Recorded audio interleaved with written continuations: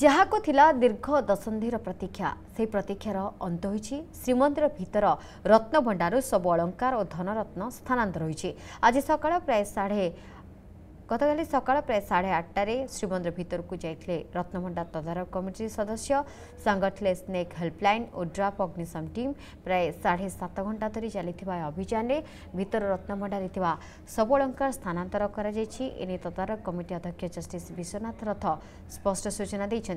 ভিতর রত্নভণ্ডারে তিনটি কাঠ আলমিরা গোটিয়ে স্টল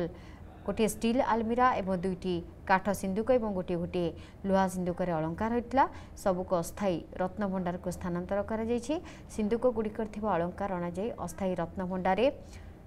ରଖାଯାଇଛି ସିନ୍ଦୁକଗୁଡ଼ିରେ ଥିବା ଅଳଙ୍କାର ଅଣାଯାଇ ଅସ୍ଥାୟୀ ରତ୍ନଭଣ୍ଡାରେ ଆଲମିରା ରଖାଯାଇଛି ସେସବୁରେ ଚାବି ପକାଯାଇ ତାକୁ ଟ୍ରେଜେରୀ ରଖିବାକୁ ଜିଲ୍ଲାପାଳଙ୍କୁ ଦିଆଯାଇଛି ମହାପ୍ରଭୁଙ୍କ କୃପା ଏବଂ ଆଶୀର୍ବାଦ ବଳରେ ସବୁ କାମ ସୁରୁଖୁରେ ସମ୍ପନ୍ନ ହୋଇଛି କେବଳ ଇଲେକ୍ଟ୍ରି ଲାଇଟ୍ ଓ ଗ୍ୟାସ୍ କଟର ଟିମ୍ ଛଡ଼ା ଓଡ୍ରାଫ୍ ଅଗ୍ନିଶମ କିମ୍ବା ସ୍ନେକ୍ ହେଲ୍ପଲାଇନ୍ କାହାରି ଆବଶ୍ୟକତା ପଡ଼ିନାହିଁ ବୋଲି କହିଛନ୍ତି ତଦାରଖ କମିଟି ଅଧ୍ୟକ୍ଷ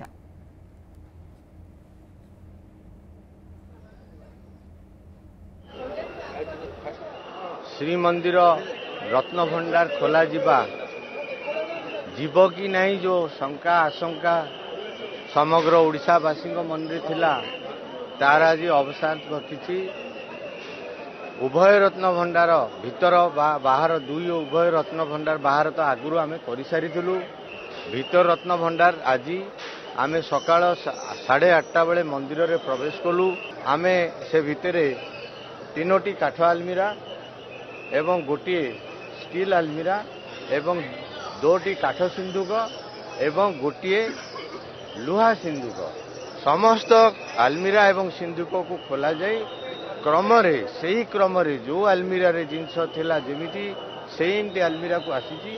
ସିନ୍ଧୁକ ସେ ଭିତରେ ପ୍ରବେଶର ସମ୍ଭାବନା ନଥିବା ଯୋଗୁଁ ସିନ୍ଧୁକର ସମ୍ପତ୍ତିକୁ ସେହିଭଳି ଗୋଟିଏ ଗୋଟିଏ ଆଲମିରାରେ ରଖାଯାଏ ରାଜ୍ୟ ସରକାରଙ୍କ ଯେଉଁ ମାର୍ଗଦର୍ଶିକା ଗଠନ ହୋଇଥିଲା ଯେ ଭିତର ରତ୍ନଭଣ୍ଡାରର ଯେଉଁ ସ୍ୱର୍ଣ୍ଣ ଅଳଙ୍କାରର ସ୍ଥାନାନ୍ତର ହେବା କଥା ମୁଁ ଆପଣମାନଙ୍କୁ ମହାପ୍ରଭୁଙ୍କର ଆଶୀର୍ବାଦରୁ ଖୁସି ଖବର ଦେବା ପାଇଁ ଚାହୁଁଛି ଯେ ତେଣୁ ସେହି ପ୍ରକ୍ରିୟା ସାରି ଆମେ ଏବେ ଫେରୁଛୁ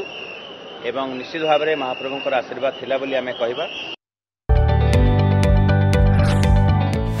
जदि आपण को आम भिडी भल लगा तेब आम चेल्क लाइक सेयार और सब्सक्राइब करने को जमा भी बुलां नहीं